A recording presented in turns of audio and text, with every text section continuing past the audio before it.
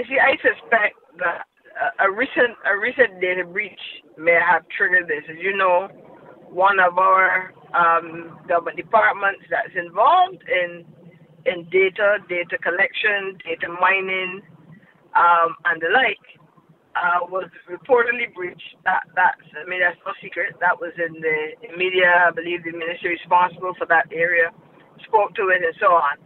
And immediately thereafter that, these messages have been sent out and we're seeing a lot of spam activity. And you ought not to be clicking on any, any links, any emails that you're unfamiliar with, and so on. We encourage members to please check and verify before they engage. And, and there's some cues that you can pay attention to. We're going to use our November webinar to uh, address some of these issues issues of cyber cyber security and cyber attack threats, etc.